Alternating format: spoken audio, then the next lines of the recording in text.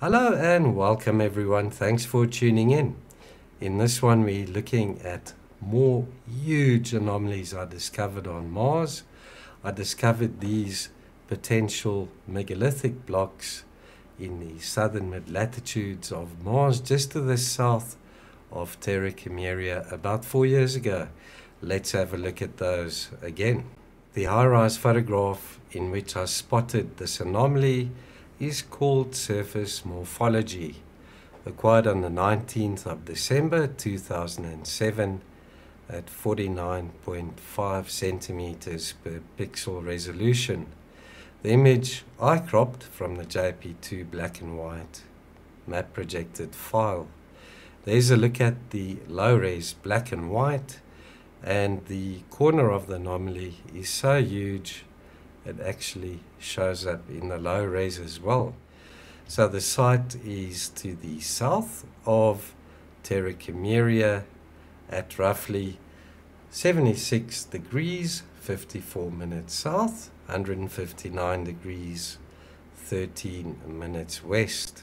Here's the anomaly at 1 to 1 scale, folks. This side of here measures about 200 meters in length. Check out the uniform thickness to this block and the straight edges and right angles.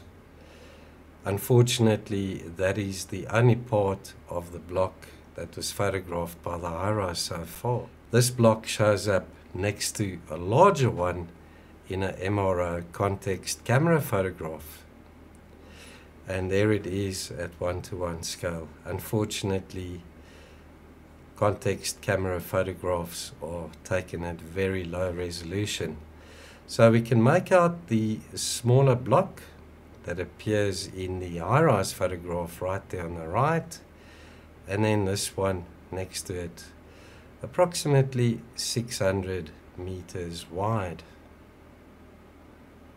And there we can see the well-defined edges of that block. Just shows the difference between the context camera and the HiRISE camera. Remarkable resolution there. So let's have a look at the monolith on Phobos. This is from PSP 0077699015 and this photograph was taken at 5.8 meters per pixel. There's the monolith right there folks, it's about 23 meters wide and there's a zoomed in view. Unfortunately if I zoom in any further the image breaks up quite badly.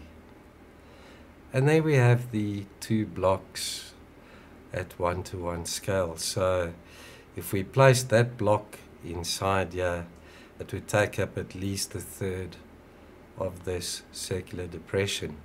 Alternatively, if you place that little block on top of these, you won't even notice it's there. So we're looking at huge blocks here on Mars, folks.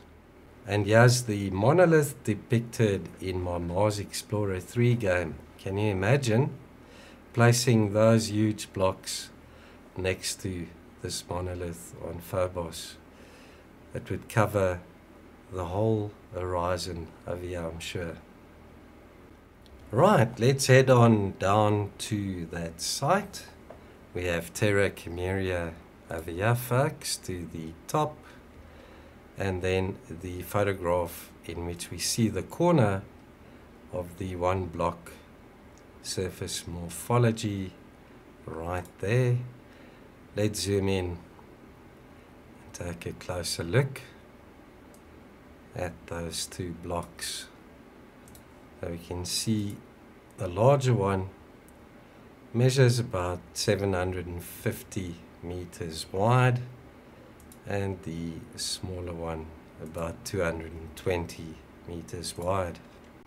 The question is, are we looking at intelligently designed and manufactured items. Just like the huge ship that I showed you guys in a couple of videos ago and the huge tower-like anomaly. something rather strange happened on Mars, that's for sure. Let's have a chat in the comments below. Look forward to reading your thoughts and analysis as to what we might be looking at here. The evidence points to huge megalithic blocks manufactured on Mars, possibly even on Phobos. So, are we looking at an ancient megalithic civilization that once thrived on Mars? And why the huge blocks, the huge tower, that huge ship, they did things on an epic scale, that's for sure.